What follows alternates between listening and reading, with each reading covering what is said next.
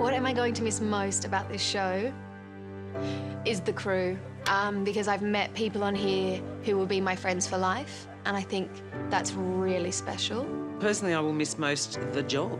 To have six years of four or five months' work for an actor in this, or any performer in this country, is extraordinary. And the, the fact that we have so many wonderful people working with us. You know, it's not just the cast, it's about 200 people who work incredibly hard.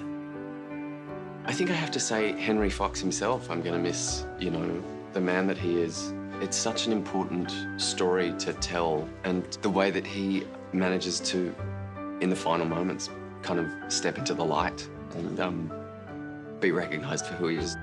The thing I'll miss most is the people.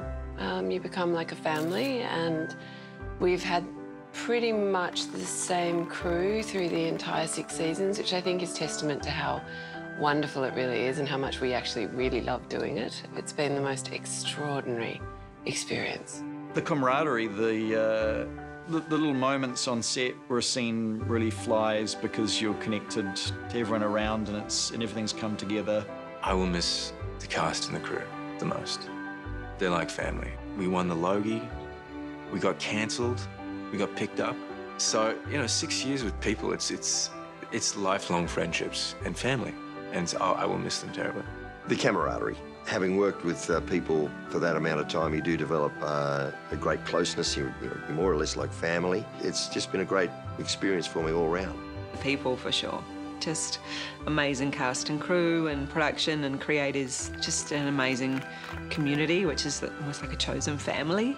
The quality, because it's just rare in Australian television to be surrounded by such quality, not only with our crew, and certainly with the actors that I work with.